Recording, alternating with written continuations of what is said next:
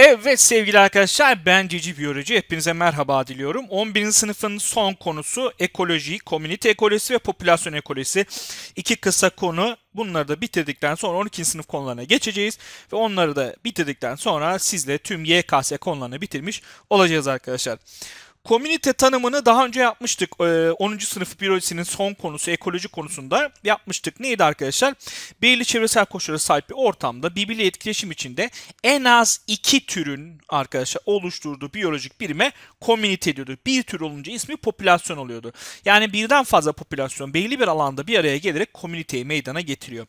Ekosistemin tanımını yaptığımızda ne demiştik? Belli bir alandaki canlı cansız tüm faktörlerin bir araya getirdiği yapıya ekosistem denir demiştik. İşte ekosistem ekosistemin canlı faktörüne biz komünite diyoruz arkadaşlar. Komüniteyi oluşturan farklı türlerin zenginliğine tür çeşitliliği denir. Yani bir komünitede ne kadar çok tür varsa o kadar çok tür çeşitliliği vardır gibi düşünebilirsiniz arkadaşlar. Organizmanın veya bir türün yani popülasyonun doğal olarak yaşayıp üreyebildiği alana habitat denir. Habitatı değişen bir türün nesli tükenebilir arkadaşlar. Ve habitatı bozulan bir türün nesli tükenebilir. Bu yüzden birey, bireylerin habitatlarına zarar vermemek lazım. Kısacası canlının adresi gibidir. Mesela hamsi dediğimizde aklımıza ne gelir? Karadeniz gelir. İşte hamsi dediğimde aklımıza ne gelir? Norveç gelir arkadaşlar. Komünitede sayıca fazla olan türe baskın tür deniyor sevgili arkadaşlar. Sayıca fazla olan türe baskın tür deniyor. Birkaç sayfa sonra anlatacağım ama şimdi söylemiş olayım. Ee, önem açısından, ekolojik nice açısından önemli olan türe de kilit taşı tür deniyor arkadaşlar. İki farklı komünitenin karşılaştığı, iç içe girdiği bölgelere ne denir arkadaşlar? Ekoton denir. Mesela A komünitesi, B komünitesi. Bakın şurası ekoton oluyor. Ekotonun özelliği ne arkadaşlar? Ekotonda tür çeşitliliği daha fazla. Niye? Hem A ekosisteminden veya komünitesinden hem de B komünitesinden canlılar bulunduğu için.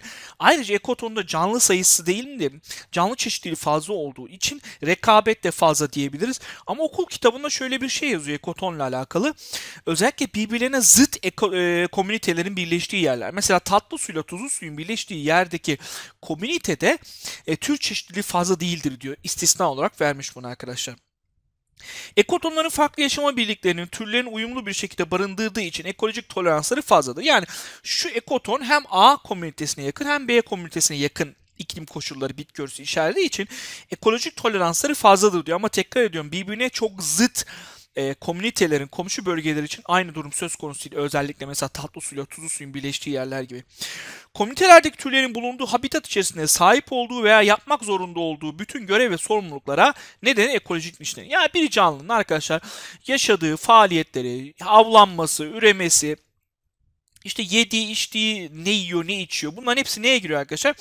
Ekolojik nişe giriyor. Ekolojik nişi aynı olan canlılar arasında rekabet oluşabilir sevgili arkadaşlar. Şimdi komünite oluşturan canlılar arasında etkileşimler, ilişkiler ilgili bir e, burada grafik var. Bu grafikte yer alan her şeyi tek tek göreceğiz arkadaşlar. Mesela rekabet demişiz ki iki farklı canlı tür arasında eksi eksi yani iki farklı canlı türünde olumsuz etkiliyor. Avab çizgisinde bir artı bir eksi dedi. Çünkü biri yiyen, yenilen, biri yiyen arkadaşlar. Mutualizmde iki tarafta pozitif manada fayda sağlıyor. Komensalizmde biri fayda sağlarken diğerinin pek bir umurunda olmuyor. Parazitizmde biri fayda sağlarken biri zarar görürken amensalizmle birinin umurunda olmaz ama birinin umurunda olmadığı bir etkisi o diğer canlıya zarar verir arkadaşlar. Evet, komünitedeki rekabete gelelim. Başlayalım rekabetle. Rekabette iki taraf da zarar görüyor. İki canlı türde sayısal açıdan zarar görüyor. Tür içi rekabet aynı tür canlıların eş seçimi, hiyerarşik yapı. İşte ben başkan olacağım. İşte ben işte bu popülasyonu ben yöneteceğim. Özellikle aslanlarda vesaire bu çok sık arkadaşlar. İşte besin ve yaşam alanı için nedenlerle gelişen rekabet. Mesela ıspanaklar arkadaşlar şu kadar arayla dikerseniz bir de şu kadar arayla dikerseniz diye düşünelim mesela. Bu şu kadar arayla diktiğinizde ıspanakların boyu şu kadarsa bu kadar arayla diktiğiniz ıspanakların boyu bu kadardır. Niye? Tür içi rekabet burada daha azdır. Çünkü ıspanaklar birbirine daha e, çok mesafededir arkadaşlar. Türler arası rekabet ise farklı türlerin bir araya gelerek rekabet oluşması. Bunların ekolojik nişleri, yaşam alanları aynı olabilir. Tür içi rekabetten farklı türler arası rekabet eş seçimi için yapılmaz arkadaşlar. Rekabetin iki sonucu var türler arası rekabette. Birinci sonuç şu. Rekabet sonucu bazı bireyler komüniteyi terk edebilir veya nesli tüketebilir. Buna rekabette elenme deniyor arkadaşlar. İkinci sonucu da şu olabilir. Benzer ekolojiye sahip türler zamanla nişlerinin belirgin farklılıklar oluşacak. Yani yemeğini değiştirecek, yaşadığı yeri değiştirecek. Buna da kaynak paylaşımı deniyor arkadaşlar. Mesela Gauss deneyi var. Gauss deneyinde iki tane paramesyum türü kullanılmış. Paramesyum aurelia, paramesyum caudatum. Bunlar birbirinden ayrı ayrı bırakıldıklarında şöyle bir büyüme eğrisi olduğunu görüyoruz ikisinin de. Ancak bunların ekolojik nişi aynı, besinleri aynı. Bunları aynı alana koyduğunuzda paramesyum aurelia'nın birey sayısının artmaya devam ettiğini, paramesyum caudatum ise belli bir süre sonra arkadaşlar sayısal olarak azaldığını yani rekabet elendiğini görüyoruz. He ama bu paramesyum Aurelia'nın birey sayısının şurada bin gösteriyor. Binden daha yüksek olduğunu göstermiyor. Binden daha aşağıdadır. Yani sorularda rekabette galip gelen türün birey sayısı çok daha fazladır gibisinden bir cümle kullanılırsa bunu yanlış kabul edebilirsiniz arkadaşlar. Evet geldik av-avcı ilişkisine. Sevgili arkadaşlar aslında doğadaki en önemli ilişkilerden biridir komüniteler arasında. Mesela insan da bir avcıdır. Tavuk yerseniz, balık yerseniz, inek yersiniz. Bunlar hep nedir? Bizim avcı olduğumuzu gösterir. Yediğimiz canlı da avdır arkadaşlar. Genel olarak av olan canlı sayısı avcı sayısından fazladır. Çünkü aslında nesli tükenmemesi gerekir. Çünkü avın nesli tükenirse avcının da nesli tükenir arkadaşlar. Bir komünitede av olan canlıların biyokütlesi ne kadar fazla ise avcı olan canlıların besini de o kadar fazladır. Av miktarı artarsa avcı miktarı da artar. Bakın av miktarı mesela tavşan av. Vaşak avcı bak. Av miktarı artmış. Görüyor musunuz? Avcı miktarı da artmış. Av miktarı artmış. Avcı miktarı da artmış arkadaşlar. Ama avcı sayısının artması, bakın avcı sayısı bir süre sonra artması bir süre sonra avın miktarını azaltır. Niye? Fazla yiyorlar çünkü arkadaşlar. Bu durumda da av, av arkadaşlar saklanarak neslini koruma yönüne gider. İşte şu gördüğünüz grafik buna benzer bir grafik gördüğünüz bu av avcı grafiğidir arkadaşlar. Doğada insan eli değmediği takdirde av avcı ilişkisi zarar vermeden, canlı türlerini yok etmeden devam eder ki zaten yüzyıllar, binlerce yıl, belki on binlerce yıldır canlılar insan eli değmediği takdirde av avcı ilişkisinde birbirlerini bitirmeden yaşamlarını devam ettirmişler arkadaşlar. Ama insan eli değince sıkıntı çıkıyor. İki tane cici bilgi vereceğiz burada. Bir tanesi kilit taşı türün tanımını yapıyoruz. Komünite üzerinde sayısal olarak olmasa da ekolojik görev veya ekolojik niş olarak önemli türlere kilit taşı türlerdedir. Mesela bir komünite var, komünitede filler var fillerin sayısının çok azaldığı görülüyor komitede. Komitede fillerin sayısı azalınca üreticilerin sayısının da çok azaldığı görülüyor. Allah Allah diyorlar neden üreticiyle ne alakası var komitenin? Sonuçta fil üreticileri yiyor. Üretici sayısının artması gerekiyor.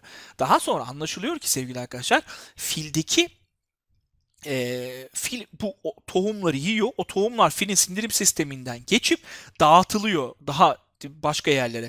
Dolayısıyla fil olmayınca tohumlar yayılamadığı için üreticiler de yayılamıyor arkadaşlar. Durum bundan ibaret. Mesela orada fil kilit taşıtır.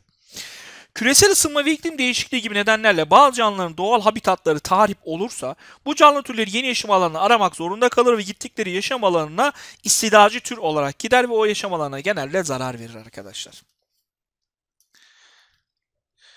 Evet, komünitelerdeki simbiyotik ilişki. Simbiyotik ne demek? Birlikte yaşam demek.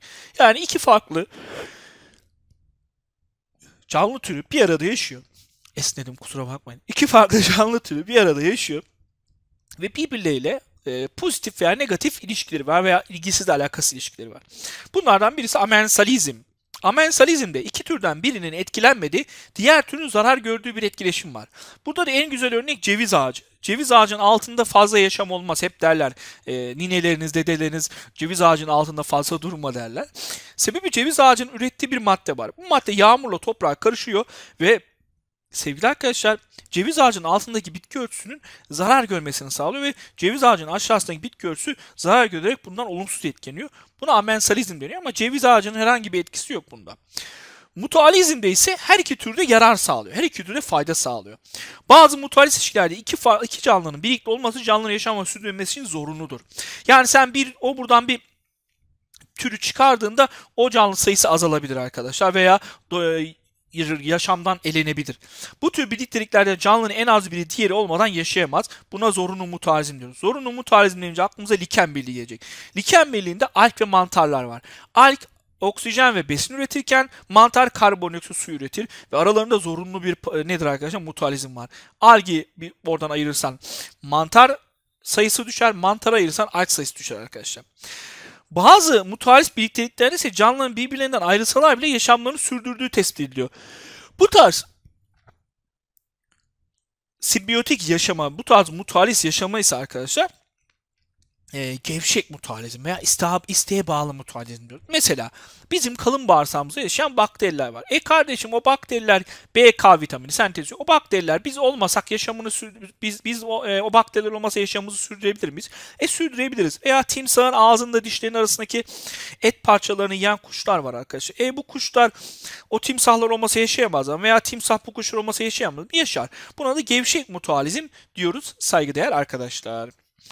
Evet geldik kommensalizme. Kommensalizm nedir? Birlikte yaşayan iki türden biri yarar sağlıyor, diğeri ise bunlar olumlu veya olumsuz etkilenmiyor. Bunun işte bunun vantuzlu bir Ekinus balığı veya remora balığı deniyor. Köpek balıkları parçalıyor, rak, e, avını parçalıyor. Kalan et parçalarını vantuzlu romero balığı arkadaşlar remora balığı yiyor. E burada köpek balığı bunu yiyip yememesinden pek bir alakası yok. Köpek balığına bir zarar veya faydası yok ama vantuzlu remora balığına faydası var. Arkadaşlar konvensiyonizm biraz sakat bir mevzu. Çünkü doğada bu kadar yakın e, yakışan e, canlı türler arasında e, pek böyle bir olumsuz etkilenmeme olayı pek olmaz gibi. E, kitapta da buna benzer bir şey yazıyor. Yani konvensiyonizm örneği bu yüzden çok azdır. Parazitliğe geldik. Parazitlik de bir simbiyotik yaşamdır. Burada iki organizmadan biri yarar, diğeri zarar görür. Biri yarar sağlar ama yararı başkasına zarar vererek sağlar. Yarar gören arkadaşlar e, yarar gören gruba biz ne diyoruz? Parazit diyoruz, asalak diyoruz. Zarar görene de konak diyoruz sevgili arkadaşlar. Yarar görene parazit yani üzerinde yaşadığı canlıya parazit, üzerinde yaşanılan canlıya konak üzerinde yaşayan canlıya parazit diyoruz. Parazitliği ikiye ayıracağız. Bir bitkisel parazitler bir de hayvansal parazitler.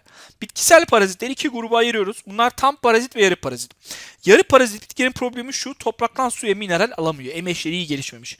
Topraktan su ve mineral alamadığı için bu canlılar üzerinde yaşadığı bitkiye e, emeçlerini salıyor ama emeçlerini sadece kısilem yani odun borusuna salıyor.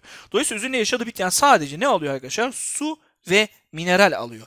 Dolayısıyla yarı parazit bitkinin fotosentez derdi yok. Kendi besini kendi üretebiliyor. Tek derdi su ve mineral derdi vardır. Fotosentez yapar. Örneği de öksüotu.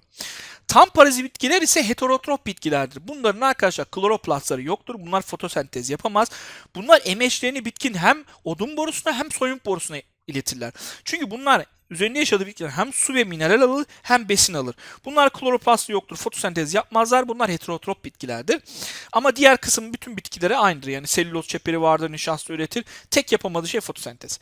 Canavar atı, küsküt atı, cins saçı dediğimiz bitkiler de bu grupta bulunan bitkilerdir arkadaşlar. Evet geldik hayvansal parazitlere. Hayvansal parazitleri iki gruba ayırıyoruz. Bunlar da iç parazitler, endoparazitler ve dış parazitler, ektoparazitler.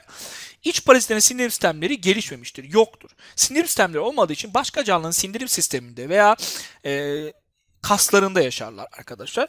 Konağın sindirim ürünleriyle besleniyor. Bunlar örnek bağırsak solucanı, kıl kurdu, tenya, bağırsak tenyası, işte domuz tenyası, bunlar kas, köpek tenyası. Genelde bunların kaslarda vesaire yaşayabiliyor. Bağırsaklarda yaşayabiliyor. Dolayısıyla sindirilmiş besinleri alıyor. Dolayısıyla zarar veriyor arkadaşlar üzerinde yaşadığı canlıya. Dış parazitler ise arkadaşlar sindirim sistemi az gelişmiş veya gelişmiştir. Bunlar genellikle üzerinde yaşadığı canlının kanını emerek besleniyorlar ve kandaki çözülmüş e, besin maddelerinden geçiniyorlar. Ancak istisnası var mı? Var tabii ki. Mesela uyuz mikrobu üzerinde yaşadığı canlıdan kan emmiyor arkadaşlar. Doku sıvısından besleniyor. Bu da istisna. Bit, pire, kene, sivrisinek, tahta kurusu, sülük bunlara örnekler verebilirsiniz arkadaşlar. Komünite ekolojisindeki son mevzumuz da süksesyon. Süksesyon nedir? Baskın türün zamanla yerini başka bir baskın türe bırakmasıdır. Yani baskın tür değişimine bir süksesyon diyoruz. Komünitelerde sayıca ve vücut büyüklüğü bakımından en fazla göze çarpan türe ne denirdi? Baskın tür denirdi. Komünitenin içinde çeşitli nedenlerle baskın türün sırayla yer değiştirmesine ne denir arkadaşlar? Süksesyon denir. Süksesyon iki çeşit. Birinci süksesyon, ikinci süksesyon. Sıfırdan yaşam alanında yeni bir canlı oluşum başlıyorsa buna ne diyorsunuz? Birinci süksesyon. Sıfırdan yaşam alanı nedir? Daha önce henüz bir yaşam alanı bulunmayan, toprak dahi olmayan bir alanda. Volkanik adalar ve buzul taşları, buzul eridikten sonra kalan taş. Burada toprak oluşumuyla başlayan sıralı değişme. İşte likenlerle birlikte kimyasal çözünmeye başlar, toprak oluşmaya başlar. Sonra likenlerden sonra yosun, yosunlardan sonra ot, otlardan sonra funda çalı, funda çalıdan sonra ağaç oluşur. Tabi bu arada ot, funda çalı ve ağaç kısmında hayvanlar da giriş yapmaya başlar bu komüniteye arkadaşlar. Ve ayrıca sevgili arkadaşlar ekosistemi diyeyim, komünite diyeyim ve ağaçla birlikte artık o ekosistem, o komünite dengeye ulaşır. Bu dengeye ulaşmasına da klimaks denir arkadaşlar. Demek ki birinci süksesyon neymiş? Sıfırdan yaşam oluşması, sıfırdan orada bir e, birliktelik oluşması arkadaşlar. Ancak kasırga, sel, yangın gibi, kuraklık gibi veya tren yolu geçti veya bina yaptınız ve ormana veya işte oradaki komüniteye zarar verdiniz. Bu zarar verdiğiniz komünitenin kendisini tamir etmesi, onarmasına da ne deniyor arkadaşlar? İkinci süksesyon deniyor. Yani toprağın sağlam kaldığı bu sıralı değişime de ikinci süksesyon deniyor. Evet sevgili arkadaşlar, komünite ekolojisi burada sona erdi. Popülasyon ekolojisiyle devam edeceğiz. Hepinize iyi çalışmalar diliyorum.